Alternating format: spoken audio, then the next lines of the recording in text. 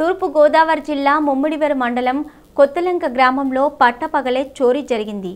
ఉదయం పదకొండు గంటల ముప్పై నిమిషాలకు ఇంట్లో ఉన్న దర్భ నాగమణి భర్త దర్భ రామకృష్ణమూర్తిని కత్తితో బెదిరించి మూడు కాసుల బంగారాన్ని గుర్తు తెలియని దుండగులు అపహరించుకుపోయారు. ఈ సంఘటన స్థలానికి చేరుకొని ముమ్మిడివరం ఎస్ఐ సురేష్ బాబు విచారణ ప్రారంభించారు.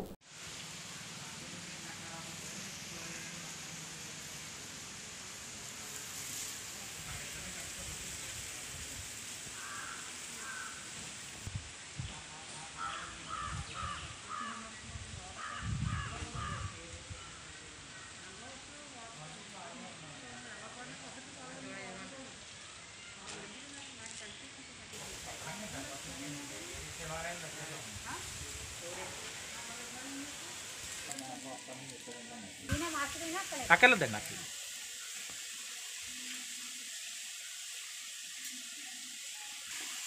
వంటింట్లోకి కత్తితో వచ్చేసాడు ఆయనతో వచ్చేసి నా మెల్ల కట్టి చూపించి మెల్ల తాడు లాక్కుని వచ్చేసాడు. నేను అడిచేసరికి ఆయన అడ్డుకోపోయారు. అడ్డుకోపోతే తాడు చూపించి ఆయన కూడా చంపేస్తానని బెదిరించి ఆయనకి వచ్చేసి బయట తలిపేసుకుని వెళ్ళిపోయాడు.